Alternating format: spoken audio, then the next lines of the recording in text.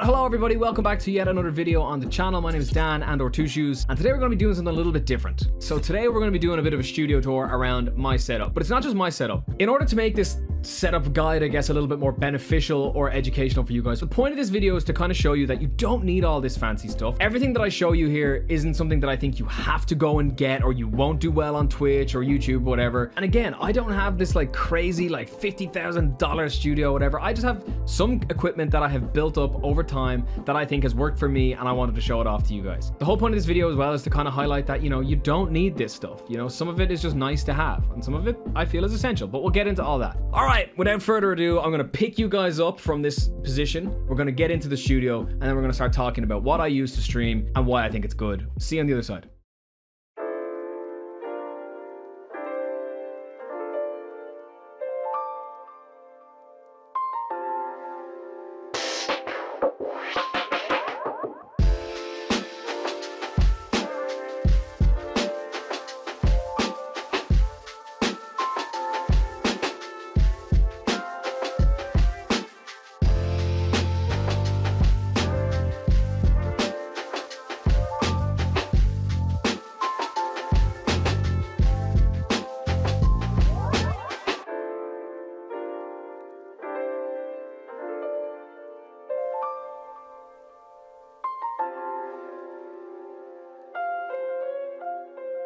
What's going on? I'm over here now. So before we get into this video, I just want to let you all know that I haven't been paid or sponsored or reached out to by any company to talk about any product that I showcase in today's video. It's just all my own stuff and my own opinion. So I just wanted to be clear there. Just want to let you guys know as well that all the products I show today are linked below in the video. Those are Amazon affiliate links, so by clicking on them and if you want to purchase anything you see, it does support me as well. So I just want to let you guys know and be clear about that uh, going into the.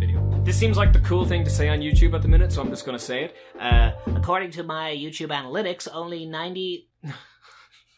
According to my YouTube analytics, 91% of the people who watch my videos aren't actually subscribed to the channel. So if you want to help me get that number down, maybe into the 80s, high 80s, I'm not going to be I'm not going to be greedy here. Please do subscribe on the channel as well. New videos every Monday all on stream related and stuff you can do to just have a better time streaming, really. So now what I want to talk to you guys about is the essential things, or the things that I deem that are essential to my setup. All right, so essential piece of kit number one, the Elgato Cam Link. This is a such an amazing piece of kit. I'm sure a lot of you are familiar with this. Those of you that aren't, what this allows you to do is basically plug any camera, be it DSLR or mirrorless, directly into your computer and use it as a webcam. I think I paid about $130, $140 for mine, but they are so worth it. This guy is what I used before I had a Cam Link. Four months.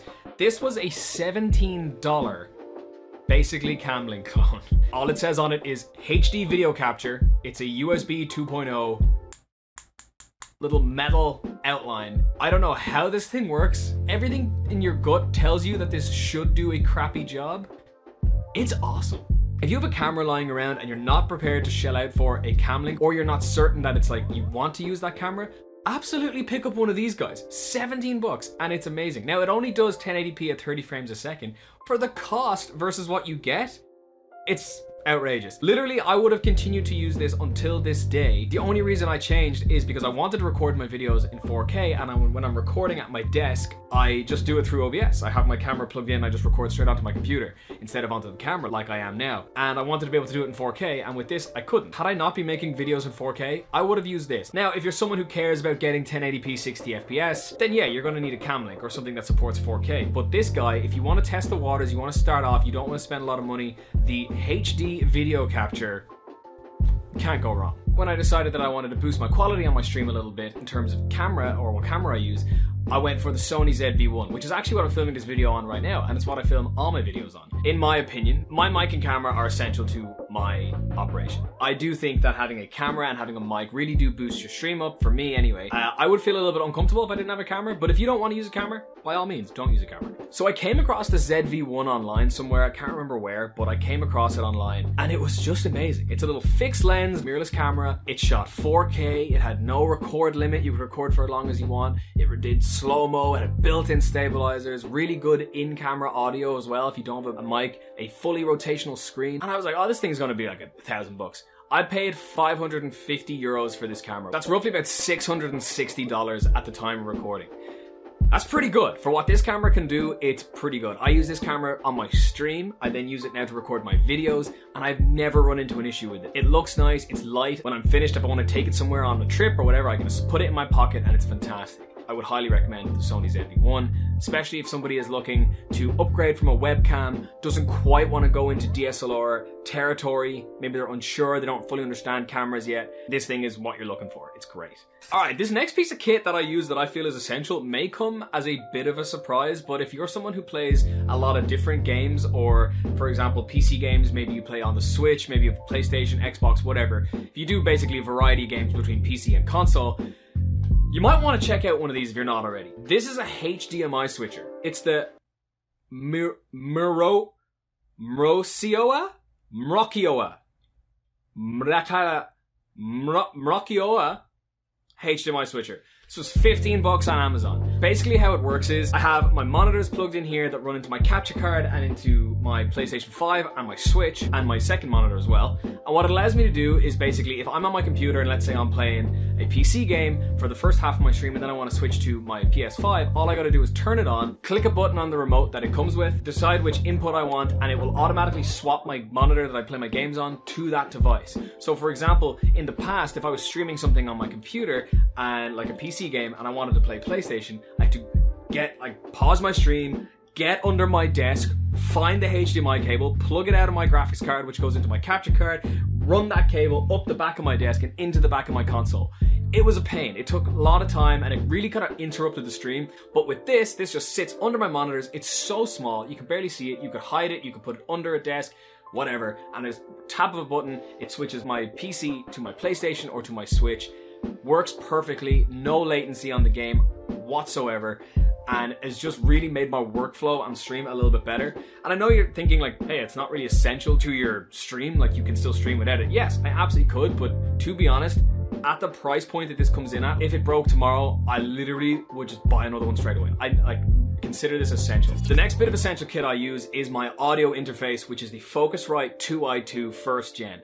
Now, this only really applies to you if you use an XLR mic like me, but if you're considering switching over from say a USB mic or a headset to a XLR mic, you're definitely going to need to pick up a audio interface and I definitely recommend the Focusrite 2i2. It is awesome. It's fantastic. I picked that thing up secondhand for 40 euros. You can buy them new for just over 100 euros, I believe, or $100. But anyway, it is what this allows me to do. It allows me to plug in two microphones and have them working at the exact same time into my computer and then into my stream. I can control the levels of each mic. I can also hear myself in my headphones because my headphones, instead of going into my computer, go into the audio interface itself.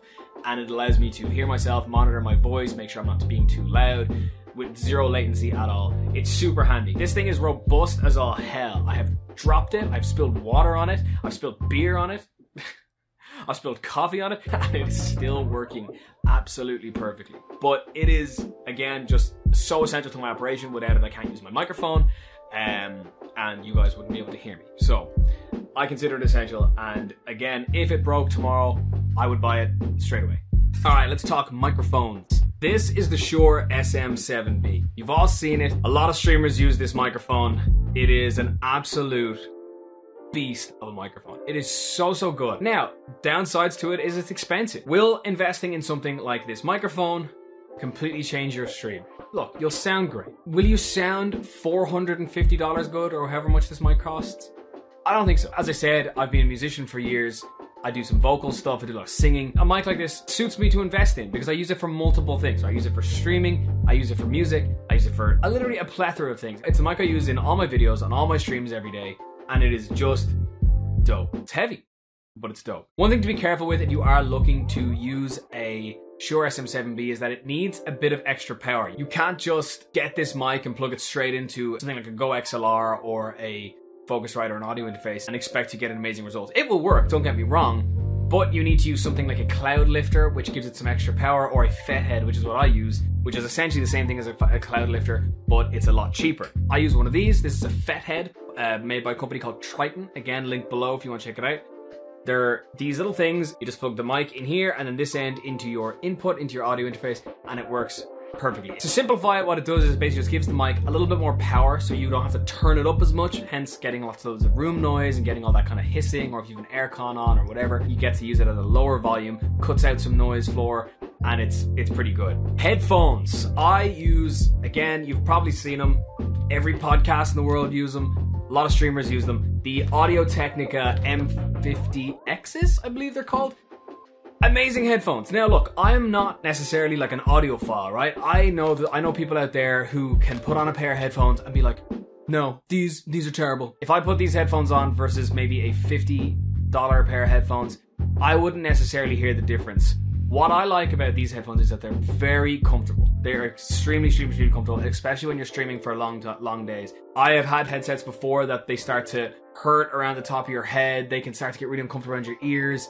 I've never experienced these, and I have done, you know, 12 hour plus streams with these and never had an issue. That's why you see so many people use them. In my mind, it's worth it, especially if you wear glasses, right? I'm a glasses wearer, I'm not wearing them now. Again, trying new things. I also wear a lot of hats. I know I've had headsets in the past, and when you're wearing hats, it hurts. I wear a lot of hats and I never feel I never feel uncomfortable ever. They also have fantastic noise cancellation on them. Um, not like that digital noise cancellation, but you know you pop them on, you can't hear anything. Again, not essential to the setup. I could use a pair of wired iPhone ear earpods and probably be fine. But again, nice to have.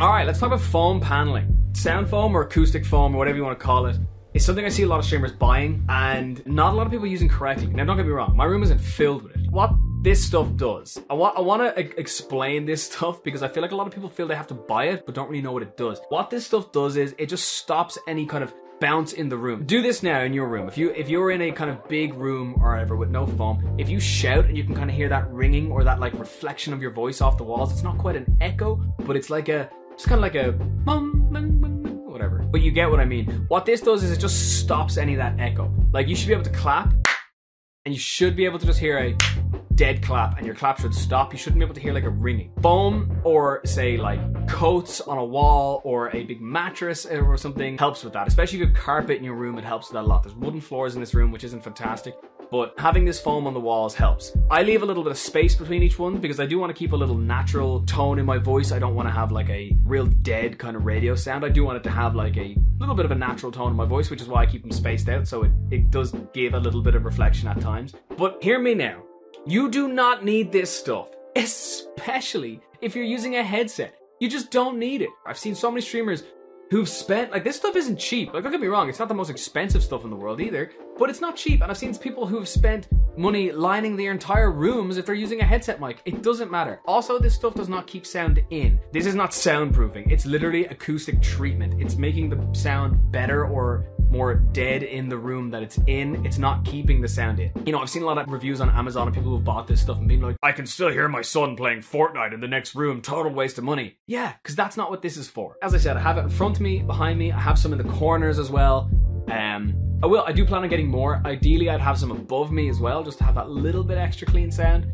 But you know, it works really well. One thing to be aware of though, guys, if you're buying this, make sure it's thick. A lot of this stuff comes vacuum packed. By the time it comes out of the pack when you open it it's like wafer thin and you want it to be thick and absorbent you want it to be about that thick these panels are not very good quality they're probably a bit too cheap they're a bit too thin in future i'm thinking about getting some maybe some thicker ones. But again i'll link these uh, uh, below if you guys want to have a look at them. They do work. Definitely had good results with them. All right some background lighting. Everyone's everyone loves background lighting these days. You don't see any youtube video or any streamer these days without some lighting in the background. Where am I pointing? RGB strips, super, super cheap, super easy to set up. They stick right on the wall a lot of the time. They normally come with a little remote like this, a lot of different settings. You can dial in anything. They look real nice. They're fine. They break up the background and it's great. One thing I've gotten recently though is these little floodlights in the back. These are fantastic. They're, they, these were great. They were such a great addition. They really did help. Found them on Amazon. They're just outdoor floodlights that I have pointed up at the wall and they just throw this beam of light up onto the wall, and it's this really subtle separation. You'd be so surprised what a bit of backlighting can do to your studio. And even when I'm not streaming, when I'm just in here at nighttime playing games, it's just such a nice little vibe to have all these colored lights sitting there. It's really good for your mood. It helps you chill out a little bit. Got two of them on Amazon, $40 and they were amazing. They just sat behind me, throw them up. Again, they come with a little remote. They're fully RGB, and I can throw them up right behind me. So the thing about setups is I want everyone to remember that setups can be kind of a dangerous thing. I think you see all these streamers with like these huge fancy setups with RGB stuff everywhere and the latest and greatest graphics cards, microphones, whatever.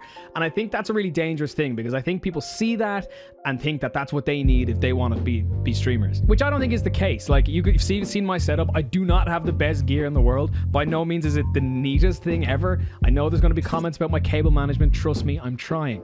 But I think that, you know, working with what you have is way more important than working with what you think you need, right? Like, oh, if I want to be a streamer, I need an RTX 3090 and I need a three grand camera and all these things. Like, no, you don't. You can accomplish a lot with a very modest setup.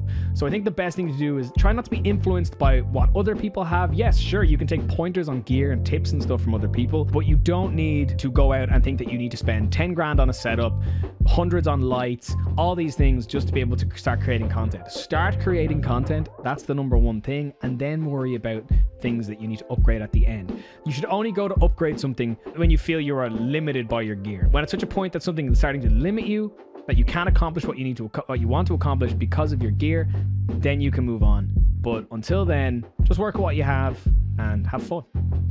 Ugh, all right, that was my studio tour. I hope you enjoyed it. I hope you had a good time. Uh, this is like a weird type of video for me to do. I've never done a video like this before. So if you want to see more kind of walking around stuff again on the channel, do let me know in the comments below. Uh, if you did like the video today, please leave a big thumbs up on it. That helps a lot. It's to be really cool. Please do subscribe to the video as well. And also, lastly, I am live uh, four days a week on twitch.tv forward slash xtwoshoes if you want to go check that out. Chances are, when you're watching this video, I'm live right now. I always love saying hi to everyone who comes over from YouTube. Anyone who does choose to do that, you absolute legend. That's a big ask, you know? As always, everybody, I've been Dan and or xTwoShoes. I'll see you all next week for another video. I hope you all have amazing weeks on your streams and you make amazing content and you have a great time. And if you're not, don't worry about it. Just stay happy. Keep keep going. Keep on trucking. It will come. You're you rule. You're awesome. You matter. You're loved. I'll see you next week. Peace out.